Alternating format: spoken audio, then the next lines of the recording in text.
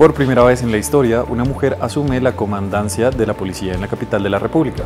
Sandra Patricia Hernández, la nueva comandante, es administradora policial egresada de la Dirección Nacional de Escuelas de la Policía Nacional.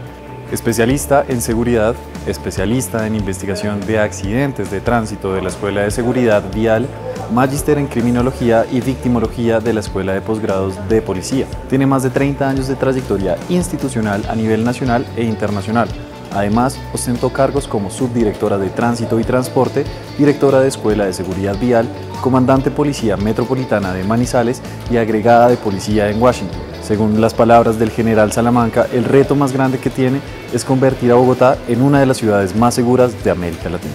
Si quiere estar al tanto de todas las noticias, recuerde seguirnos en nuestro canal de YouTube, además de estar pendiente de nuestras redes sociales y visitar nuestro portal web eltiempo.com.